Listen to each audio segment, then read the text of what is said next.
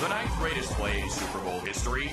Sean Payton ambushing the Colts to start the second half of Super Bowl 44. We got to recover the onside kick, boys.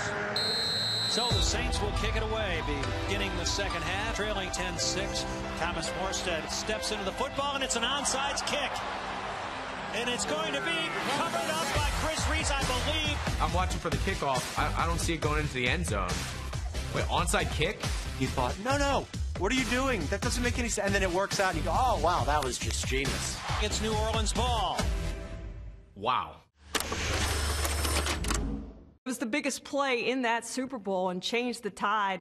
You better believe a play this good has a kicking name and an even better backstory. You know, they say the Who helped to the Saints win the Super Bowl because the halftime show was so long. But halftime's 35 minutes, you know, somewhere between Teenage Wasteland and Pinball Wizard, you know, decided that this was this was going to be the time to run this. We're going to start this half kicking off. All right, ambush. Let's go get this game. That meant all the pressure was on Thomas Morstead. Their poor kicker was for the entire halftime just panicking. Thomas Morstead has this awesome quote. He says, I wasn't worried, I was terrified. Don't blow it. Don't blow the kick. It should have been easily recovered by the Colts, and it just popped out of Hank Baskett's hand. You know, everyone in America knew Hank Baskett at the time because he was dating a Playboy playmate.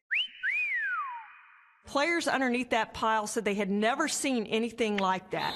It was 10 minutes of pushing and shoving. This can't happen. We had the ball. You have to have a big set of them to make that call.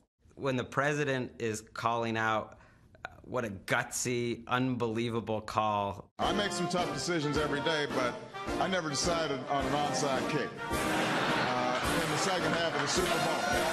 That took some guts. That is the ballsiest play in Super Bowl history. Parcells said it. You gotta have, you gotta have balls That's to win this game. balls, I'm telling you. You set the record.